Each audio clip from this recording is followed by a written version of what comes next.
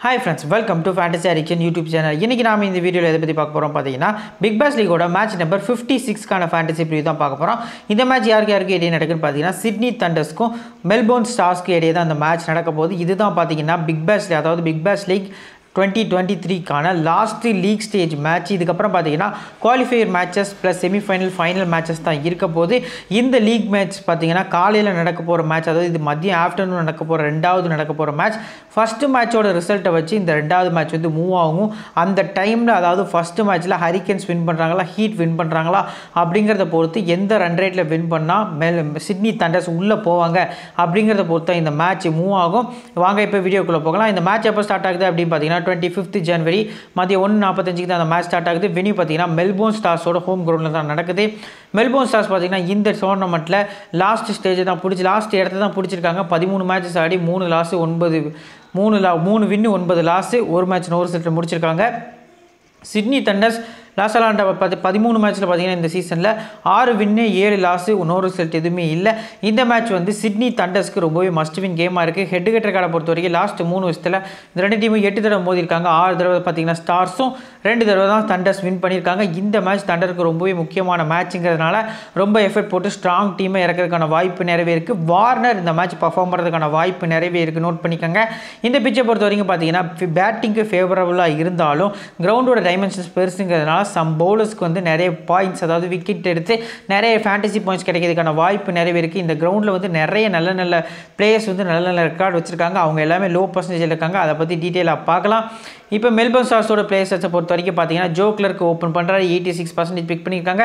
Wicket keeping ஆப்ஷனில் இருக்காரு. ஆன் கோயிங்கில் முப்பத்தோரன் ஆவரேஜ் ரீசன் ஃபார்ம் நல்லாவே இருந்திருக்கு. ஹெட் ஹெட்டில் ஆறு ரன் நோட் பண்ணிக்கோங்க. வெனியூவில் பார்த்தீங்கன்னா முப்பத்தெட்டு வெனியூ ரெக்கார்ட் சூப்பராக இருந்தாலும் ஹெட் ஹெட்டில் நாலு மேட்ச் ஆடி ஆறு ரன் ஆவரேஜ் எண்பத்தி ரெண்டு தான் ஸ்ட்ரைக் ரேட்டு ரொம்ப போராக இருக்குது பர்சன்டேஜ் வைஸாக எயிட்டி சிக்ஸ் கிட்டே இருக்கார். அடுத்து பார்த்தீங்கன்னா ரோஜஸை பொறுத்த வரைக்கும் டாம் ரோஜஸை பொறுத்த வரைக்கும் பார்த்தீங்கன்னா தாமஸ் ரோஜஸ் ஆன் கோயிங்கில் இருபத்தி நாலு ரன் ஆவரேஜ் இருக்கிற ரீசன் ஃபார்ம் நல்லாவே இருக்குது எல்லா மேட்சும் டபுள் டிஜிட்டில் ஸ்கோர் பண்ணிட்டு இருக்காரு. ஹெட் ஹெட்டில் பதினாலு ரன் ஒரு மேட்ச் ஆடி பதினாலு ரன் தான் அடிச்சிருக்காரு. வெனியூவில் முப்பத்தாறு ரன் ஆவரேஜ் இருக்கிறதுனால இந்த மேட்ச்சுக்கு ஒரு சாலிட் பிக்காக இவரை பிக் பண்ணுறது நல்ல ஆப்ஷனாக இருக்கும். அடுத்து கெல்லாவே போன மேட்ச் ஒன் டவுன் பண்ணியிருந்தாங்க. இந்த மேட்ச் அப்படி பண்ணுறாங்களா இல்லை லோடு வந்து யாரில் தான் இறக்குதாங்களாங்கிறத பார்க்கலாம். அஞ்சு பர்சன்டேஜ் பிக் பண்ணியிருக்காங்க. ஆன் கோயிங்கில் பார்த்தீங்கன்னா பதினாலு ரன் ஆவரேஜ் சொல்கிற அளவுக்கு இல்லை. ரெக்கார்ட் வெனியூலி பார்த்தீங்கன்னா புவர் ரெக்கார்டாக தான் இருக்குது ஹெட் ஹெட்லேயே ஆனதில் ஸ்கிப் பண்ணிட்டு போகிறது ஒரு நல்ல ஆப்ஷனாக இருக்கும் நண்பா. அடுத்து பார்த்தீங்கன்னா ஸ்டோயினஸ் எழு எழுபத்தி ரெண்டு பர்சன்டேஜ் பிக் பண்ணியிருக்காங்க. ஆன்கோயிங்கில் பார்த்தீங்கன்னா இருபத்தாறு ஆவரேஜ் ப்ளஸ் ரெண்டு விக்கெட் ரீசன் ஃபார்ம் பார்த்தீங்கன்னா வந்த மேட்ச் அதாவது ரொம்ப இவர் ரெஸ்ட் எடுக்காரு. ரெஸ்ட் எடுத்து முடிச்சுட்டு வந்த மேட்ச் பார்த்தீங்கன்னா ஃபுல்லாகவே நல்லா ட்ரீம் டீமில் வந்து பர்ஃபார்ம் பண்ணிட்டு போயிருந்தாரு. ஹெட் ஹெட்டில் முப்பத்தி மூன்றரை ஆவரேஜ் அஞ்சு விக்கெட் எடுத்திருக்காரு. வெனியூ பொறுத்த வரைக்கும் பார்த்தீங்கன்னா முப்பத்தெட்டு ஆவரேஜ் இருக்குது வெனியூ பவுலிங்கில் பார்த்தீங்கன்னா பதினஞ்சு முப்பத்தாறு மேட்ச்சுக்கு பதினாறு விக்கெட் ஸ்ட்ரைக் ரேட் கொஞ்சம் டீசெண்டாக இருக்கிறதுனால நாளைக்கு மேட்ச்சுக்கு ஒரு சாலிட் கேப்டன் பிக்கில் இருக்காரு. அடுத்து பார்த்தீங்கன்னா காட் ரேட்டை பொறுத்த வரைக்கும் செவன்ட்டி டூ பர்சன்டேஜ் பிக் பண்ணியிருக்காங்க. டாப் ஆஃப் தி ஆர்டரில் வாராரா இல்லை லோடு இந்த ஆர்டரில் தான் வாராராங்கிறத அந்த மேட்ச்சுக்கு முன்னாடி லைனப்பை பார்த்து தெரிஞ்சுக்கலாம். ஆன்கோயிங்கில் இருபத்தெட்டு ஆவரேஜ் ரீசெண்டாக சூப்பர் ஃபார்மில் தான் இருந்திருக்காரு. ஹெட் ஹெட்டில் முப்பது வெனியூவில் நாற்பத்தஞ்சுன்னு இருக்குது மேட்சஸும் நல்லாவே ஆடி வச்சிருக்கிறதுனால இந்த மேட்ச்சுக்கு ஒரு சாலிடான விசிபிக்கில் இருக்காரு. ஃபஸ்ட் பேட்டிங் பண்ணால் மட்டும் ட்ரை பண்ணிக்கோங்க. ரொம்ப ரிஸ்க்காக இருக்கும். வெப்சைட்டை பொறுத்த வரைக்கும் பார்த்தீங்கன்னா ட்ரீம் யூனிவர்சல் கேப்டன் இவராக தான் இருக்கார். இந்த மேட்ச்சுக்கு எயிட்டி டூ பர்சன்டேஜ் பிக் பண்ணியிருக்காங்க.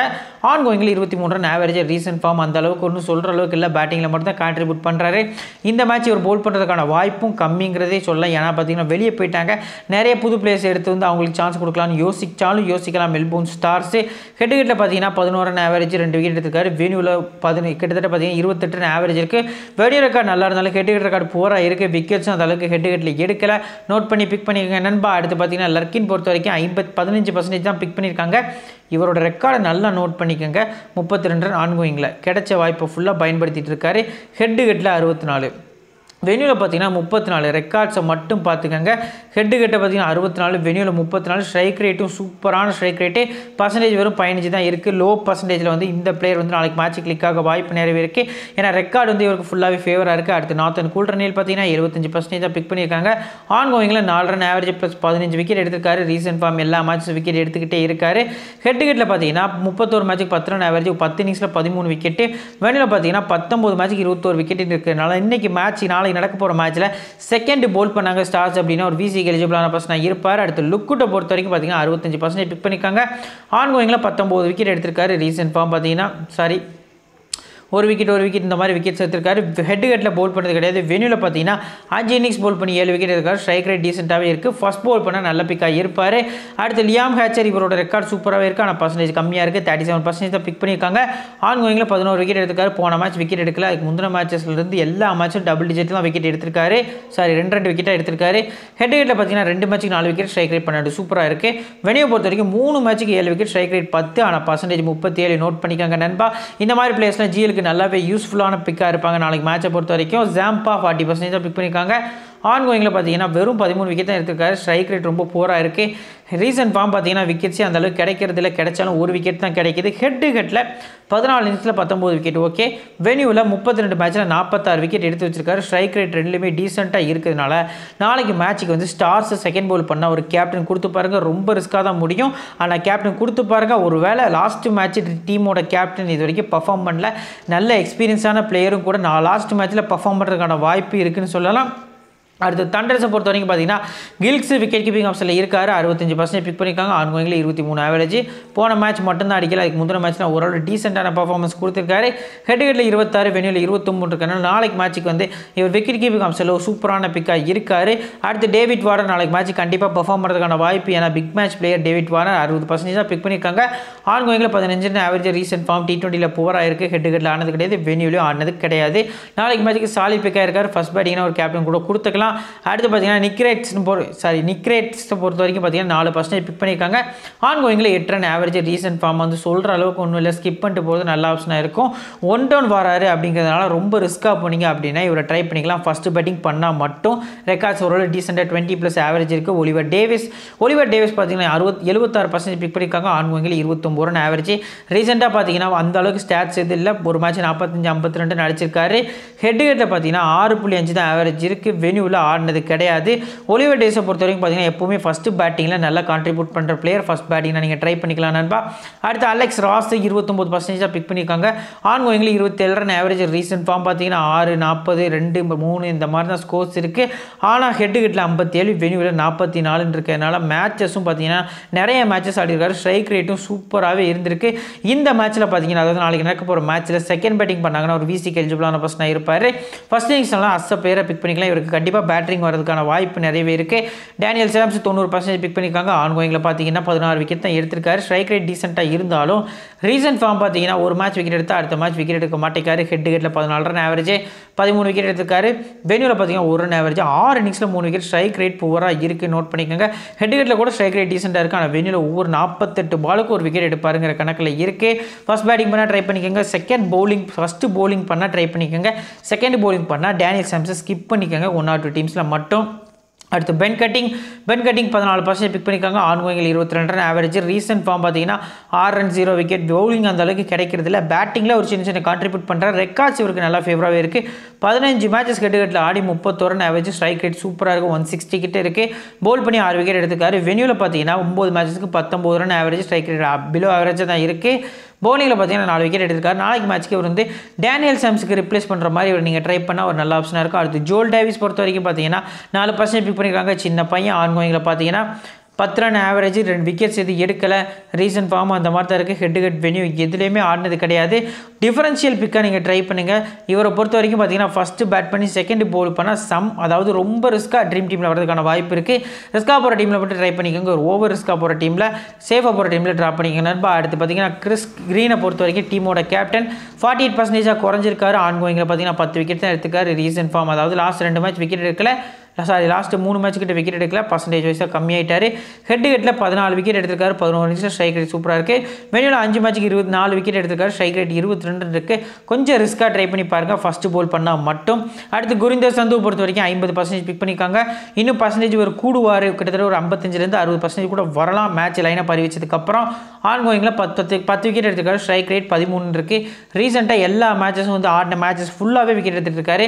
ஹெட் ஹெட்டில் ரெக்கார்ட்ஸ் வந்து அந்த அளவுக்கு இல்லாட்டாலும் வெனியூவில் சூப்பராகவே இருக்குது ஸ்ட்ரைக் ரேட்டோட. ஹெட் ஹெட்டில் எட்டு விக்கெட் எடுத்திருக்காரு பதினோரு இன்னிங்ஸில் வெனியூவில் பார்த்தீங்கன்னா ஏழு இன்னிங்ஸில் பத்து விக்கெட் எடுத்திருக்காரு. நோட் பண்ணிக்கோங்க நண்பா. அடுத்து பார்த்தீங்கன்னா உஸ்மான் குவாதிர் பதினேழு பர்சன்டேஜ் பிக் பண்ணியிருக்காங்க. லோ பர்சன்டேஜில் ஒரு நல்ல பிக்காக இருப்பார் ஏன்னு பார்த்தீங்கன்னா இந்த கிரௌண்டோட டைமென்ஷன்ஸ் வந்து இவருக்கு உதவும். ஸ்பின்னர்ஸ்க்கும் வந்து மெல்போர்ன் விக்கெட் வந்து கொஞ்சம் சப்போர்ட் பண்ணும் அப்படிங்கிறதுனால நாளைக்கு மேட்ச்சுக்கு ஒரு க்ரூஷியல் ரோல் ப்ளே பண்ணுறதுக்கான வாய்ப்பு நிறைய இருக்குது யாருன்னு பார்த்தீங்கன்னா உஸ்மான் குவாதிர். நோட் பண்ணிக்கோங்க நண்பா. ஆன்கோயிங்கில் பார்த்தீங்கன்னா ஒம்பது மினிட்ஸில் ஏழு விக்கெட் தான் எடுத்துக்கா ஸ்ட்ரைக் ரேட் போராக இருந்தாலும் ரீசன்ட் ஃபார்மும் அந்த அளவுக்கு சொல்கிறதுக்கு இல்லை. ஹெட் ஹெட்டில் ஒரு மேட்ச் ஆடி ஒரு விக்கெட்டு வெனியில் ஒரு மேட்ச் ஆடி ஒரு விக்கெட் எடுத்திருந்தாலும் நாளைக்கு நடக்க போகிற மேட்ச்சில் இவர் நிறைய விக்கெட்ஸ் எடுக்கிறதுக்கான வாய்ப்பு. ஒரு ரெண்டுலேருந்து மூணு விக்கெட் எடுத்தால் ட்ரீம் டீமில் வரதுக்கான வாய்ப்பு நிறையவே இருக்குது நண்பா. போன மேட்ச் வந்து ரெண்டு தடவை கையில் அடி வாங்கினாரு? ஆனால் அந்த மேட்ச் எடுக்காங்களா அப்படின்னு பார்ப்போம். எடுத்தால் கண்டிப்பாக ட்ரை பண்ணிக்கோங்க. இப்போ கீ பிளேஸை பொறுத்த வரைக்கும் பார்த்தீங்கன்னா ஒரு ஆறு பிளேஸ் இருக்காங்க. ஸ்டோயினிஸ் காட்ரேட் லர்கின் வந்து மூணு பேர் தண்டஸ் தரப்பில் இருக்காங்க. அடுத்து வந்து கில்க்ஸ் ரோஸ் சந்து இந்த மூணு பேரும் பார்த்தீங்கன்னா சாரி மூ ஸ்டோயினிஸ் காட்ரேட் இருக்க இந்த மூணு பேர் ஸ்டார்ஸ்லேயும் கில்க்ஸ் ரோசஸ் வந்து இந்த மூணு பேர் பார்த்தீங்கன்னா தண்டர்ஸ்லேயும் இருக்காங்க. நோட் பண்ணிக்கோங்க நண்பா. இந்த பிளேஸை நீங்கள் ரொட்டேட் பண்ணி உங்கள் டீமில் ட்ரை பண்ணிக்கோங்க. இப்போ கேப்டன் வைஸ் கேப்டன் பார்த்தீங்கன்னா பர்சன்டேஜோட பார்க்கலாம் கேப்டன் இப்போ சேஃப் ஆப்ஷனில் பார்த்தீங்கன்னா டேனியல் சாம்ஸ் பதினஞ்சு பர்சன்டேஜ் கேப்டன் இருபத்தி ரெண்டு பர்சன்டேஜ் வைஸ் கேப்டன் கொடுத்துருக்காங்க. என்ன பொறுத்த வரைக்கும் நாளைக்கு ஃபஸ்ட்டு போல் பண்ணாங்க தண்டர்ஸ் அப்படின்னா இவருக்கு வந்து நீங்கள் ஒரு கேப்டன் கொடுக்கலாம். ஸ்மால் லீக்கில் மட்டும்.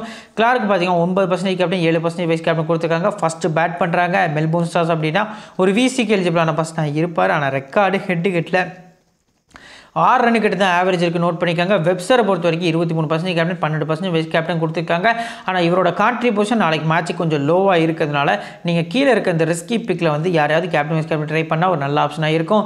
ரிஸ்கி ஆப்ஷனில் பார்த்தீங்கன்னா கில்க்ஸ் இருக்கார் நாலு பர்சன்ட் கேப்டன் நாலு பர்சன்ட் வைஸ் கேப்டன் சேஸ் பண்ணாங்கன்னா நல்ல பிக்காக இருப்பார் விசிக்கு காட்ரேட் பொறுத்த வரைக்கும் ரெண்டு பர்சன்ட் கேப்டன் மூணு பர்சன்ட் வைஸ் கேப்டன் ஃபஸ்ட் பேட்டிங்னா ஒரு விசிக்கு எலிஜிபிளான பர்சனாக இருப்பாங்க. அடுத்து வார்னர் பொறுத்த வரைக்கும் எட்டு பர்சன்ட் கேப்டன் அஞ்சு பர்சன்ட் வைஸ் கேப்டன் கொடுத்துருக்காங்க. ஃபஸ்ட்டு பேட் பண்ணாங்க தண்டர்ஸ் அப்படின்னா கேப்டனுக்கு எலிஜிபிளான பர்சன் வார்னர். அடுத்து கூல்ட்ரனில் பொறுத்த வரைக்கும் பார்த்தீங்கன்னா மூணு பர்சன்டேஜ் கேப்டன் நாலு பர்சன்ட் வைஸ் கேப்டன் கொடுத்துருக்காங்க. செகண்ட் போல் பண்ணுறாங்க ஸ்டார்ஸ் அப்படின்னா நீங்கள் மஸ்ட்டாக விசி கொடுக்க வேண்டிய பிளேயர் வந்து கூல்ட்ரனில். வெனியூ ரெக்கார்ட் நல்லாவே இருக்குது சந்து பொறுத்த வரைக்கும் பார்த்தீங்கன்னா ஃபஸ்ட்டு போலிங்னா நீங்கள் கேப்டன் வைஸ் கேப்டன் ட்ரை பண்ணிக்கலாம் நண்பா. நம்ம சேனலை சப்ஸ்கிரைப் பண்ணலாம் சப்ஸ்கிரைப் பண்ணிக்கங்க. இப்போ பர்சன்டேஜ் ஸ்ட்ராட்டஜி ப்ளஸ் டெமோ டீமாக பார்க்கலாம். வாங்க. நண்பா இப்போ பார்த்தீங்கன்னா இதில் பர்சன்டேஜ் ஸ்ட்ராட்டஜியில் எண்பது பர்சன்டேஜுக்கு அதாவது எழுபத்தஞ்சு பர்சன்டேஜ் நூறு பர்சன்டேஜுக்குள்ளே யாரெல்லாம் எடுத்திருக்காங்கன்னு பார்த்தீங்கன்னா ஜோக்லருக்கு இருக்காரு. அடுத்து பார்த்தீங்கன்னா பேட்டிங் ஆப்ஷனில் பார்த்தீங்கன்னா ஒலிவர் டேவிஸ் மட்டும்தான் இருக்கார். காட்டுட்டு வரதுக்கான வாய்ப்பு கொஞ்சம் கம்மியாக தான் இருக்குது அடுத்து டான்சாம்ஸ் இருக்கார் வெப்ஸ்டர் இருக்கார் ஸ்டோயினிஸ் கண்டிப்பாக வந்துருவார். கூல்ட்ரனேல் இருக்கார். அடுத்து பார்த்தீங்கன்னா பவு பவுலிங் லிஸ்ட்டில் வேறு யாருமே இல்லை.